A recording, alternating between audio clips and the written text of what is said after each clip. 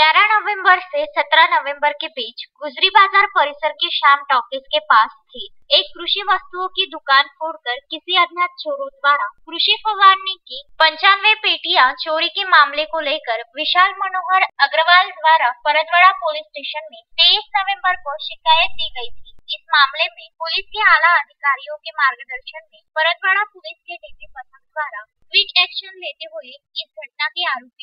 24 घंटे के भीतर घर तक पहुँचा। अपराधियों के पास से चोरी हुआ पूरा सामान बरामद करने में भी पुलिस को सफलता प्राप्त हुई है। पुलिस ने आरोपियों से चोरी हुई पंचानवे पेटियाँ, कुल कीमत छह लाख चालीस हज़ार चार सौ रूपयों का माल जब्त किया है। गौरतलब है कि अमरावती ग्रामीण क्षेत्रों में बढ़ती चोरियों की घटनाओं को लेकर ऐसी घटनाओं पर अंकुश लगाने जिला ग्रामीण पुलिस अधीक्षक अविनाश बारगढ़ द्वारा अमरावती ग्रामीण और परतवाड़ा स्टेशन के अधिकारी कर्मचारियों का मार्गदर्शन करते हुए सूचना प्रदान की थी। इस मामले में पुलिस ने उन अज्ञात चोरों के खिलाफ कलम चार सौ इकसठ तीन सौ अस्सी की धारा के मुताबिक मामला कायम करते हुए क्विक एक्शन के तहत उन चोरों को मुद्देमाल सहित घर पहुँचा। इस घटना में पुलिस ने शाकिब राजा उर्फ़ अहमद अब्दुल, उम्र तेईस साल, मोहम्मद मुस्तकीन उर्फ़ गोलू मोहम्मद मुस्ताक, योगेश उर्फ़ यश कैलाश इंगोले, मोहम्मद मुस्ताक शेख हैदर,